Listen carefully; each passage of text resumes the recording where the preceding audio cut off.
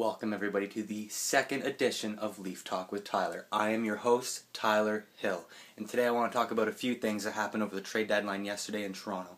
First things I want to talk about is the addition of Ryan O'Byrne. What you're going to notice about Ryan O'Byrne is that when you look at his stats at first, there's not a lot there. He hasn't put up a lot of points, but that's okay because he's a defenseman. And when you look at some of the stats that you don't see normally on the front list there, you're going to notice that he has a lot of blocked shots and that's big when it comes to the Leafs because that's one thing they really needed to address was to get their number of shots down. Bringing in a defenseman like this could help that immensely. He has 141 block shots last season with the Colorado Avalanche, and he only played 74 games, which was a career high for him. Aside from blocking a lot of shots, another thing this guy can really do is put the body on. With 180 hits last year, he was second on the Colorado Avalanche in hits. And I hope he can bring a physical presence like that to the Leafs because with our inexperienced defense, that's going to be major. Also, speaking of inexperience, this guy has played 19 playoff games and is now the 11th player on the Leafs to have any playoff experience. So on a roster of 23 guys, less than half of the Leafs have been in the playoffs. So bringing this guy to the team gives us a little bit more experience. The biggest news in Toronto yesterday may not have been the trade they made for Ryan O'Byrne, it may have been the trades they didn't make. As you know, going into the trade deadline yesterday, there was a lot of speculation in Toronto. Names like Tyler Bozak, Clarke MacArthur, Roberto Luongo, Miikka Kiprusoff. Big names going in and out. And what happened? Nothing. Not a damn thing. Why, though? If you were watching Trade Center on TSN yesterday, you may have heard early in the morning that Miikka Kiprusoff took his name off the table, saying he had no interest in being traded anymore. He instead wants to finish his career in Calgary this year and then retire at the end of the season, which is fine by me because I did not want this guy coming to Toronto. His numbers have not been impressive at all this year. I truly think if he had come to Toronto, it would only hurt us going down the stretch. Because James Reimer has been really impressive, and I've been really happy with the way he's been playing. And honestly, I don't know why the Leafs general managers thought they needed to go out and get a veteran goalie. There's been plenty of rookie goalies or goalies that have no playoff experience going into the playoffs that have made decent runs with teams that they're with. It's not just who you have between the pipes, it's who you got out front. And that brings me to my next point. Tyler Bozak. A lot of speculation because he's an unrestricted free agent at the end of the season. He's not going anywhere either. Why?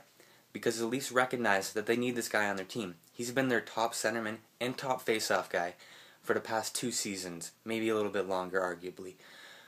But right now, they've got Bozak, they've got Kadri, and they've got Grabovski in his $5.5 million contract. You can't go with Kadri at number one because he's still young in his career. This is his first real full season, kinda, even though it's been cut short by a lockout. But it's his first time he's played all the games with the NHL club, and you can't expect him to go into the playoffs ready to take over a number one job. And Grabovski has just not been putting up the numbers this year to be a number one centerman.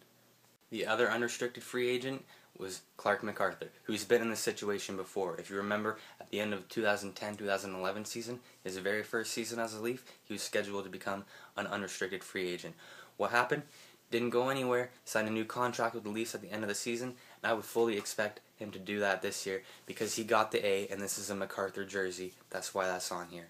Clarke MacArthur may also be one of the most underrated players on the Leafs roster right now. A lot of people don't talk about MacArthur. A lot of people don't wear MacArthur jerseys. But if you look at his stats, he's been a consistent 20 goal scorer since coming to Toronto in 2010. And also a plus player in all except his first season. Right now, he's sitting at a plus 6, which is one of the Leafs' best ratings right now. And let's not forget, Wednesday morning, Clarke MacArthur was medically cleared to play, which means he should be back in action really soon with the Leafs, ready to put up those numbers again. As right now, he's got 17 points in 30 games with the Leafs, and I'm sure when he comes back, he'll be putting up those numbers again.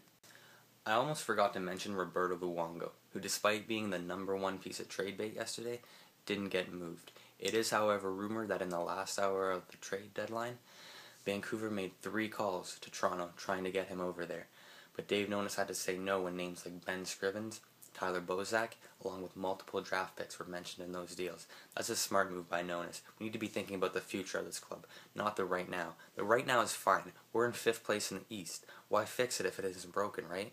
That's the old saying. And the big question after the deadline is where do the Leafs stand now? And the answer is I don't know. Nobody knows, other than fifth place right now.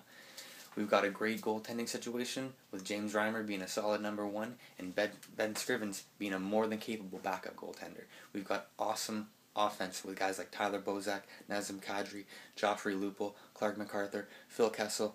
I could go on and on. And now we have a much more solid defensive core. When you look at a guy like Ryan O'Byrne, he could help bring down those block shots. Well, not bring down the block shots. Help bring down our shots against by blocking the shots.